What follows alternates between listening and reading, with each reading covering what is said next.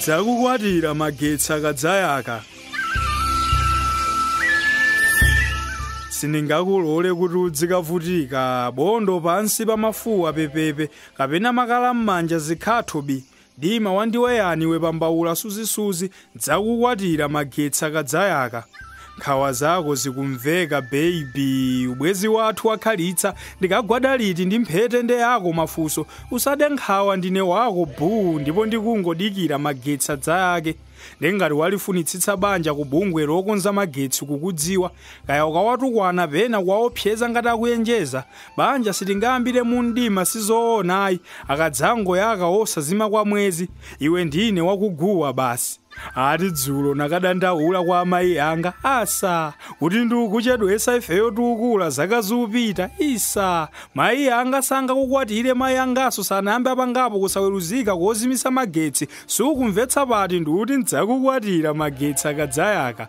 dzana ati unawawuza bambo ako ayankhule nane ayamba liti bambo ako kupanga zoyatsa magetsizi kwa mneneri wakutchalitchi kwanu ati wapita wapitanso kumuuza andisalire kudya ndikuveke mphete malomo omuuza asalire kudya bungwe la magetsi lisiye uchimo ndikusawaluzika kuozimisa magetsi chifukwa ndzakukwatira magetsi akadzayaka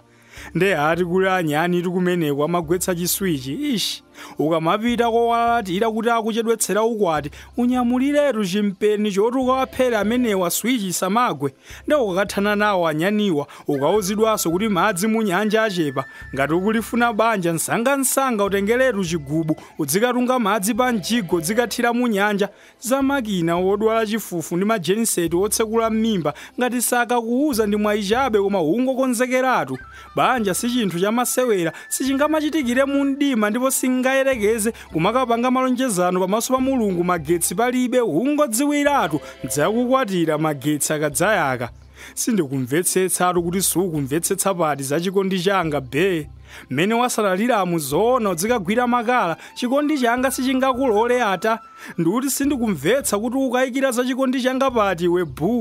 mmene kamwetuliro kako kakukongoleramu udzikamwetulira mu mdima mmene timauthenga athu tapalamya timazunira muja tidzikakanika kulemberana mafoni atazima kamba kosowa magetsi asa ndzakukwatira magetsi akadzayaka ndeye ati kwabwera atu majenereta